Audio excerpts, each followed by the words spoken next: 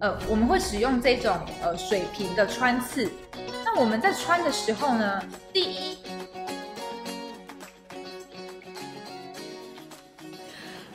大家好，我是 Amy 老师。这一集呢，我要来教大家认识花艺铁丝。那花艺铁丝的用途是什么呢？它其实主要呢是针对对于一些呃比较软弱的花材，比较又低又密的素材，去针对它呢去做扶正。加强的效果，因为它本身的茎没有办法维持原本新鲜鲜花的时候的样子哦，因为茎它其实是传递植物在传递水分的一个部位，所以说它在干燥完或是在加工的时候，它没有办法维持原本的样子。那花艺铁丝呢，其实还是有分很多颜色的哦。如果说你到材料行里面，老板我要买花艺铁丝，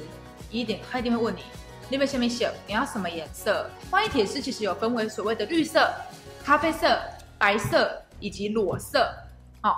顾名思义，绿色呢，就是我们常用到的，使用到像鲜花哦，跟它的金的颜色呢，是做比较接近的配置。然后像咖啡色呢，我们会使用到的是干燥花的部分，因为干燥花它在呃干燥完之后，它的树枝，尤其是尤其是玫瑰花，它的茎会呈现黑褐色。那还有所谓的白色，比方说是在一些经过漂白后的一些素材，比方说永生的一些漂白的叶子，它本身的叶子是白色的，你的加工的茎可能是使用到了可能咖啡色或绿色，会比较没有那样的自然，所以我们会使用到白色。还有一种是叫所谓的裸线。其实顾名思义，就像它的名字一样，它是赤裸裸的。呃，我们像是针对永生花，我们要去做一些穿刺，去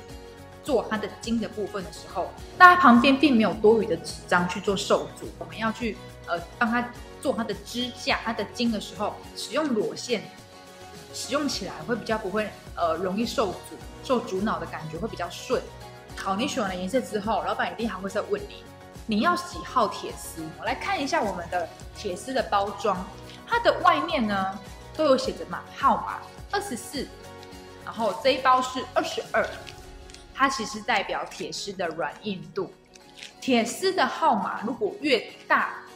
它的数字越大的话，铁丝的软度就越软。如果今天你的铁丝的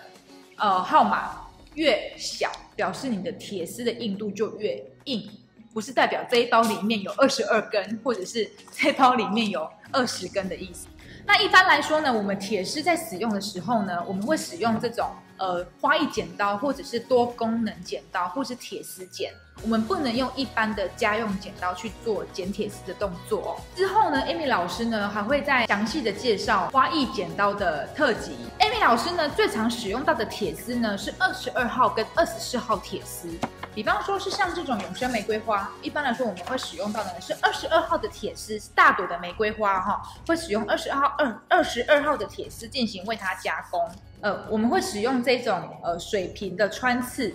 那我们在穿的时候呢，第一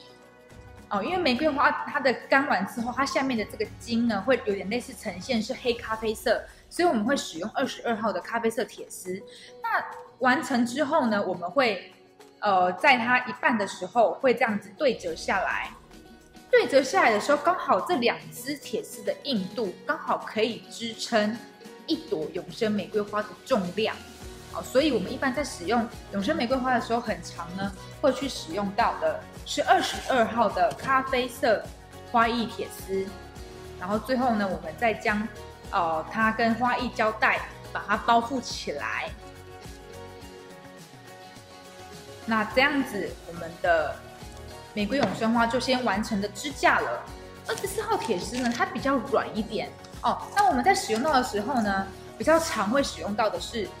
嗯，对于满天星这个素材的加工哦。因为满天星第一，它的花苞比较小，而且比较轻哦，所以说呢，它在做加工的时候呢，如果使用到二十二或二十的话，第一可能会太硬，铁丝太硬，所以导致于它的花苞你在呃，在进行加工的时候，可能本身的枝干，它的树枝，满天星的树枝容易断掉，所以我们在使用二十四号铁丝的时候，相对的，它的这个铁丝的软度跟满天星它本身树枝的硬度是比较接近的，哦，所以我们会使用到二十四号的铁丝去做满天星的加工。到这边呢，可能还会有同学问问我说。哎，那是不是所谓的二十号铁丝，或是十八号，或者是呃二十六号、二十八号就用不到呢？不常使用呢？并没有，并不是这样子哦。越硬的铁丝呢，一般来说呢，我们会使用到的呢是另一种的穿刺法，比方说像刚刚我前面有提到的二十号铁丝，我们会常用在太阳花或是庭园玫瑰，但因为它本身的加工处理方式跟永生的玫瑰花不太一样，所以说我们的庭园玫瑰呢，我们会一般来说会比较常使用到的是二十号铁丝。十号铁丝呢，在加工的时候呢，会使用的是这种倒钩穿刺法。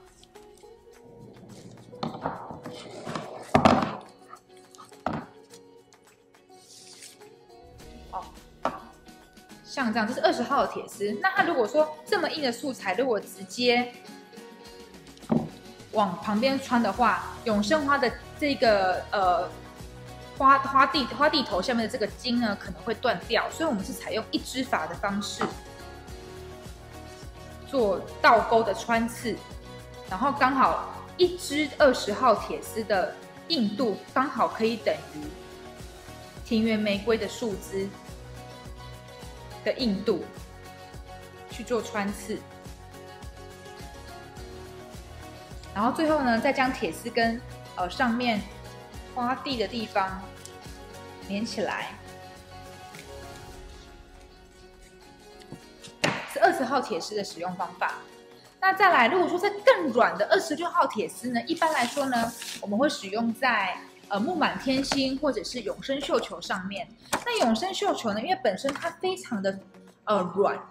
哦，它的筋本身就已经呃不像干燥的时候那么的硬，它是比较软的材质，比较软的质地，所以说我们会使用到是比较软的二十六号铁丝呢，去为它进行加工。哦，就是我刚刚前面有说的比较软弱的花材，把它进行扶正，然后加强的效果。